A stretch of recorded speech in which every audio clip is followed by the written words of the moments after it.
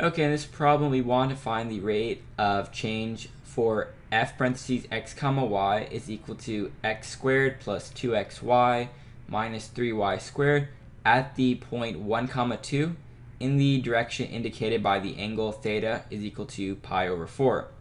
And so essentially for this problem we are finding a directional derivative. So let's get started. So we can say that f is defined as we have x squared plus 2x times y times and then uh, minus 3y squared. Uh, we hit enter. And now we can say that the unit vector u is defined as uh, it'll be a unit vector so we want a uh, we want uh, closed brackets. So we can say uh, unit vector is this. So cosine theta comma sine theta. So we have a uh, cosine uh, theta, so pi theta comma sine theta, so pi theta. And in this problem, our angle is pi divided by 4. So we can do that. So we hit control equal straight line down and we simply say um, that theta is equal to pi over 4.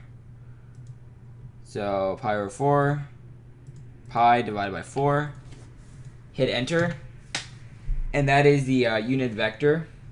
Next we will get the uh, gradient, so we can say grad uh, no, let's say underscore grad f is defined as uh, we use closed brackets and we will take the derivative in terms of x and in terms of y in terms of x and in terms of y. So menu calculus derivative we will do in terms of x. So f comma in terms of y. So menu calculus derivative uh, in terms of y, f. And in this question, the uh, given point x comma y is denoted as 1 comma 2.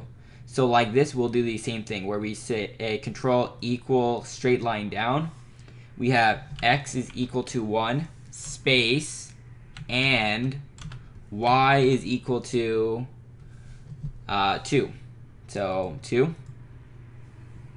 And we're almost there. Now we do the dot product of the gradient with uh, unit vector. So menu, uh, 7 for matrix. We go down to C, and then we go to uh, dot product. And so we will have the dot product of this, comma u, this, comma u, like this. Hit enter, and this is the final answer and I'm just gonna like expand this so I mean if you might have missed a step or something.